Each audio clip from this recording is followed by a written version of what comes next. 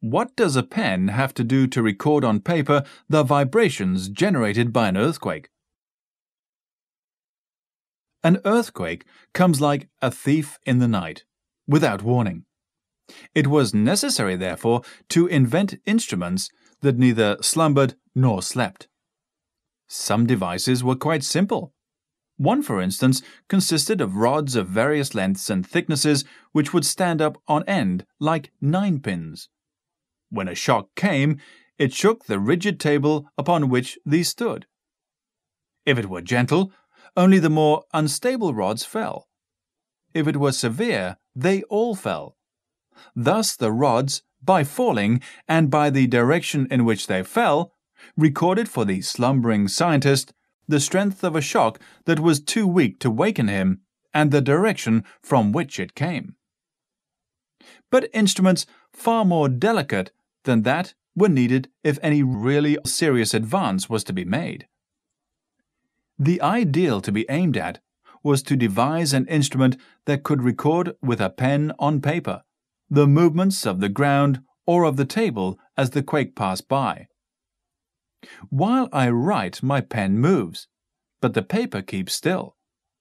With practice, no doubt, I could in time learn to write by holding the pen still while the paper moved. That sounds a silly suggestion, but that was precisely the idea adopted in some of the early instruments. Seismometers, for recording earthquake waves. But when table, penholder, and paper are all moving, how is it possible to write legibly? The key to a solution of that problem lay in an everyday observation. Why does a person, standing in a bus or train, tend to fall when a sudden start is made? It is because his feet move on, but his head stays still. A simple experiment will help us a little further. Tie a heavy weight at the end of a long piece of string. With a hand held high in the air, hold the string so that the weight nearly touches the ground.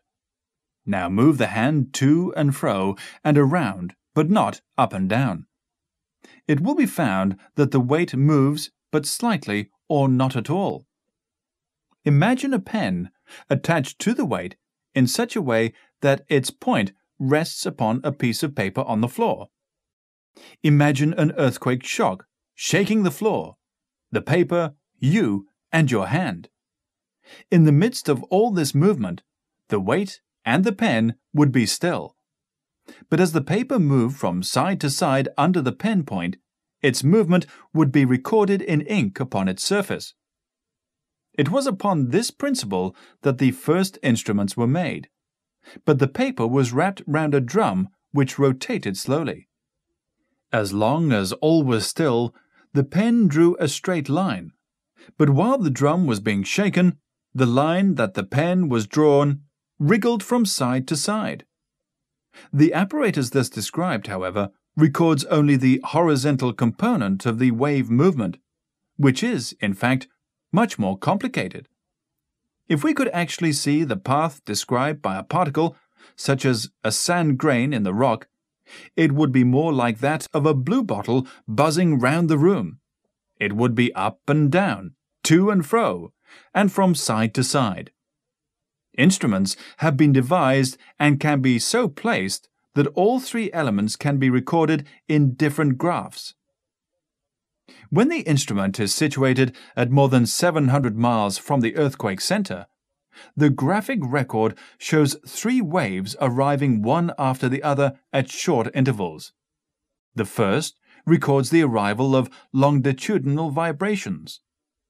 The second marks the arrival of transverse vibrations which travel more slowly and arrive several minutes after the first. These two have traveled through the earth. It was from the study of these that so much was learnt about the interior of the earth. The third, or main wave, is the slowest and has traveled round the earth through the surface rocks.